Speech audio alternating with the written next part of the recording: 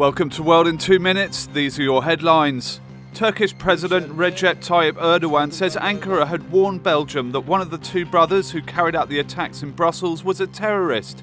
Ankara had deported Ibrahim el Bakraoui to the Netherlands last July, but Belgian authorities later released him. Daesh has claimed responsibility for the bombings at Brussels airport and a metro station.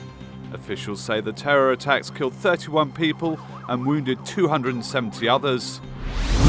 Myanmar's parliament held a session on Thursday and confirmed 18 nominees for the incoming government's cabinet. It is not yet clear which ministries they have been assigned to.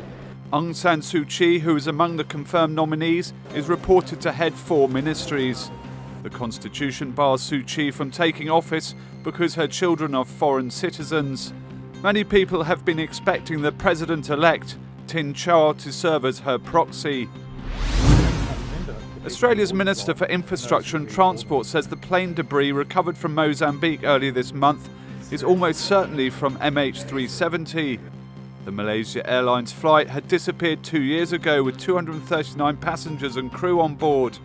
It was travelling from Kuala Lumpur to Beijing. Malaysia's transport minister says a Malaysian team will search along the coasts of Mozambique and South Africa. A piece of debris was discovered on the southern coast of South Africa two weeks ago. President Denis Sassou Nguesso has won another seven-year term in office. He's held office for 32 years.